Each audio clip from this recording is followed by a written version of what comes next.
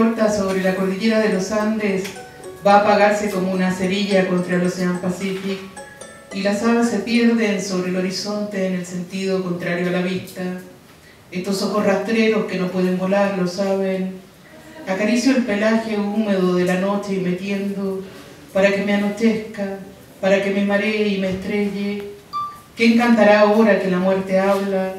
La cordillera de los Andes es la Colombia nuestra, nuestra propia Fox, la espina de nuestros mejores recuerdos.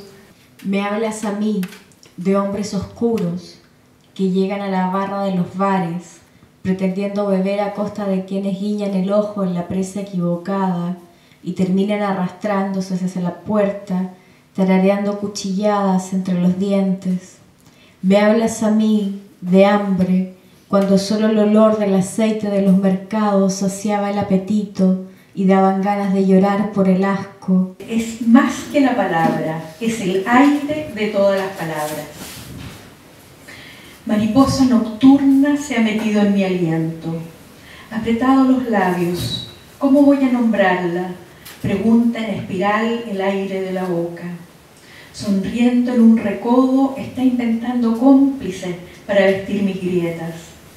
Animal humano del acuario, mira como en un abrir y cerrar de ojos se pierde el azul del origen. Desde los senos de la cordillera de los Andes, Baja la nieve indómita. En delgados hilos fríos circula el agua cósmica de la gran piedra madre. Sospecha estar hecha de carne, a veces letra, nunca puño, grafito incluso, carbón del más grueso, ceniza que traza la vuelta y luego se dispersa, porque un viento en el litoral arrasa a cualquier hora y el cuerpo ni la cáscara revienta. El viento puede enloquecer a una mujer, a un hombre, Caballo de atar rompe los cercos, salta la empalizada, doblega el cerebro más fuerte como un campo de gavillas de trigo.